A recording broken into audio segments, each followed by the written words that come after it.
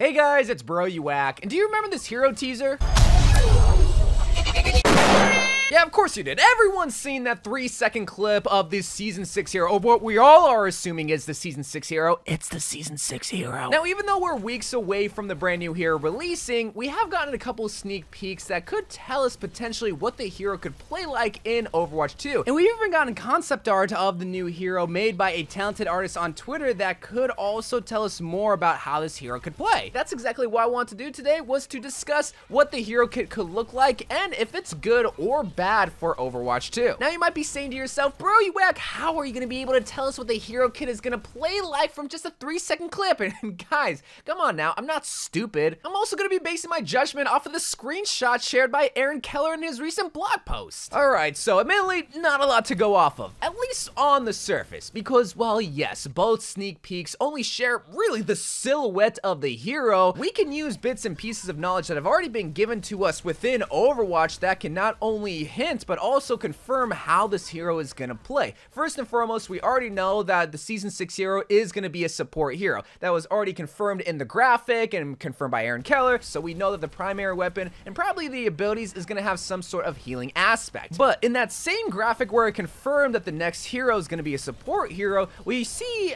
a background of a map of some sort, a very mountainous range. And well, that mountainous range is the exact same graphic of a Peru poster that has been been used for countless years within Overwatch 2. So we know that they're going to be a support hero, and we know, or we can assume that they're going to be from Peru, but also just even looking at the silhouette and the design, a lot of the assets used with this hero could be heavily inspired from the Inca Kingdom. Now, even though the sneak peeks really doesn't tell us how the hero is going to look, someone on Twitter actually made a great concept piece that depicts of how this new hero could potentially look, and they go by the name of Martin Kapoli. I hope pronounced your name right because this art piece is absolutely phenomenal, not only because you make the hero look fantastic, but you also give a depiction of how the hero kit could play within Overwatch 2, most notably with their primary weapon. But first thing I want to talk about is the actual design, because this is phenomenal. You, you could honestly be a concept artist working at Blizzard, but the only thing that I think could possibly change when it comes to the classic design, or possibly even legendary skins for this hero, is the use of colors. Here in the concept piece, you have blacks, you have browns, and you have hands and sand colors. But when it comes to like,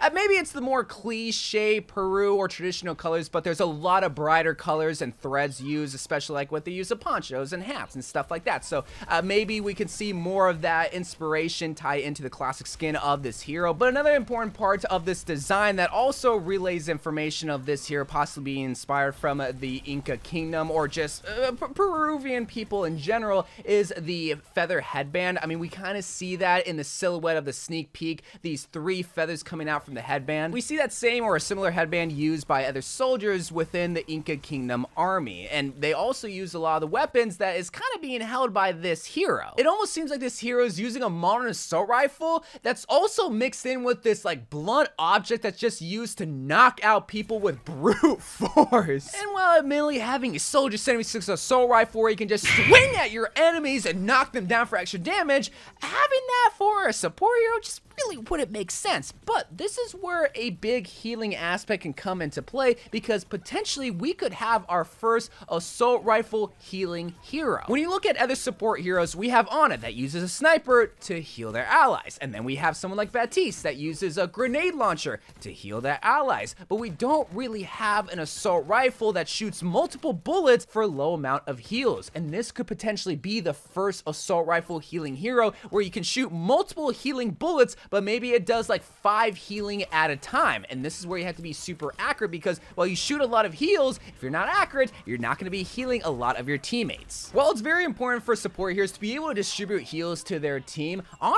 is really the only hero that takes that to the full extreme where there's no cop-out. If you're bad at Overwatch, if you're bad at aiming, you're probably going to be bad with Ana. So I think now would be a great opportunity to add another high skill gap support hero when it comes to aiming with that hero. Because while yes, there's skill gap opportunities for all support heroes, like with Kiriko when it comes to cleansing, or Baptiste throwing your immortality, or Lifeweaver knowing when to pull, or Moira when a Zenyatta knowing when to trans. There's a lot of opportunities, but not a lot for aiming.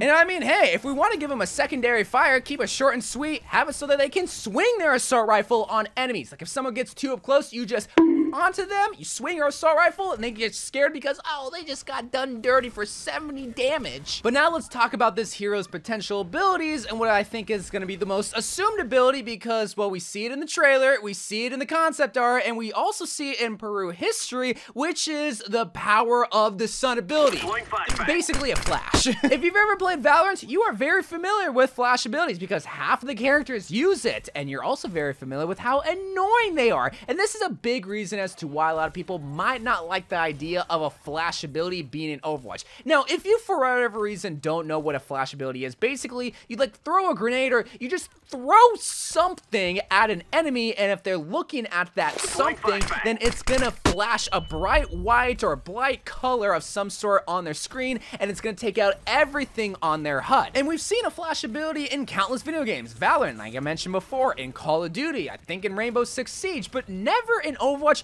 with the exception of one time. Very long ago an experimental card, Wrecking Ball got a change where if you ran into his mines, into his ultimate, you not only got stunned, but you also got flashed by it. Now, it wasn't a bright white flash. It was actually just a black flash. It just took out your whole entire HUD with the exception of the UI on the screen for a little bit of time, but that was still the first time that we saw a flash ability in Overwatch. Now, do we need this kind of ability in Overwatch? Uh, two reasons why I don't think we need it. With three reasons. One, if we haven't gotten it in seven years, why do we need it now? The second reason is that it would obviously be super, super, super annoying. And if we're trying to remove annoying abilities in the game, like with Mei's Freeze or with Cassidy's Stun, even though they kind of already came back, why would we add probably the most infuriating ability that might not even have or add a lot of utility to your teams? Like, if you flash an enemy, and also this is the third reason why, it might not add a lot of utility, because if you flash an enemy, what can you really do in the couple of seconds that that enemy is flashed? Like, maybe flank as Tracer, maybe teleport as Reaper, like, I, like off the top of my head, I'm thinking like, okay, that might not add a lot of usefulness to your team. But I think people are being too small brain about this because while they see a sun and they associate with a flash, what if that's her ultimate? She is a support hero, so what if instead of using the power of the sun in the palm of her hand, if you know that reference, you an OG Spider-Man fan, but what if she uses it to cleanse her allies as her ultimate? Now, we've seen this before, obviously with the cleanse ability, but never have we seen a hero use the power of the sun, bring sun rays down onto the ground to not only cleanse all your allies, but keep them cleanse. So things like an Ana anti-grenade or a Discord orb or really anything, a, a, hinder effect from Cassie's grenade or a Mei's freeze, which I would actually hate now that I think of it. But what if she brought down the sun and made it so that anyone that is under the sun got cleansed and stayed cleansed for like eight seconds or so? This could cancel so many abilities and it'd be, it'd be cool, but it'd be a cool ability. Hey, if we want her ultimate to be an ultimate ability, that's something that would be really powerful. I'm not saying it'd be balanced, but hey, I think that would make for a really cool ultimate, and it also tie into all the teasers that we keep seeing when it comes to this hero and the freaking sun. But then what would her other ability be? Because if she doesn't have a flash, then what would she have? let her fly. okay, okay, I'm, I'm half joking, but also half not. Just going based off the sneak peek, she is jumping into the sun. She is sort of flying. So what if we had our very first support hero that could fly on her own? I mean, yes, Mercy can fly to a teammate, but she can't fly on her own. So maybe this could be the very first hero that could potentially just have levitating power. I guess Zenyatta has that power. Oh gosh, dang. You know what I mean? I want a natural hero to be able to fly. We don't really have that with a support here. I mean, Baptiste can jump and Lucio can jump and Zenyatta can float, but I want a, a natural flying hero. But guys, that's my analysis of this hero and her hero kit, at least uh, that we know of so far, which isn't a lot, but I mean, hey, when we think about this hero kit being able to cleanse people with the sun, being able to use an assault rifle to swing on her enemies, she or they are pretty cool. We don't even know the gender of this hero, but until then, until they come out, I love you guys. Thank you guys for watching more Overwatch 2 videos to come, and bye.